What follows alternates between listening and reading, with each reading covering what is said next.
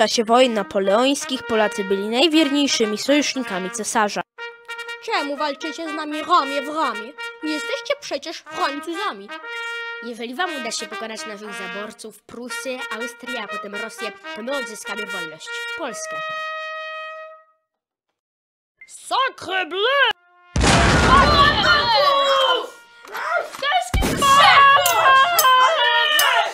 Jesteśmy w stanie dziś wygrać tej bitwy. Zarządzam odwrót wszystkich wojsk za rzekę Elsterę. Marszałku Poniatowski, osłaniaj odwrót. Cesarzu, rozkaz.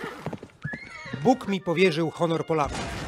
Bogu go tylko oddam. Krakusi, za mną! Odwrót armii francuskiej przebiegał zgodnie z założonymi celami. Do czasu, kiedy przeprawa mostowa na rzece Elsterze została zniszczona.